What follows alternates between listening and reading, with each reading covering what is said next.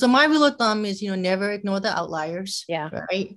And I think um, I was reading reading an article, and there was an article that said um, one of the worst um, humanitarian and even um, env- environmental disasters um, happen because um, when the data scientists or the analysts were sampling their data points, you know, to do quality checks, they ignore um, the outliers, right? And the yeah. outliers tend to be those um, those those events or phenomena that really drive and create this huge shift, right? Either yeah. in a positive direction or a negative um, direction for that impact, you know, a lot of people.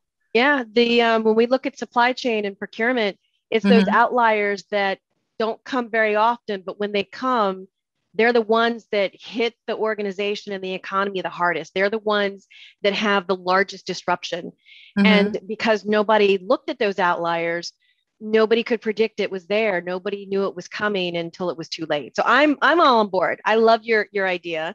I think mm-hmm. it's absolutely the right way to go. If not everybody's doing it, then for those of you mm-hmm. listening, maybe this is something you should consider. Yeah. Right. Yeah.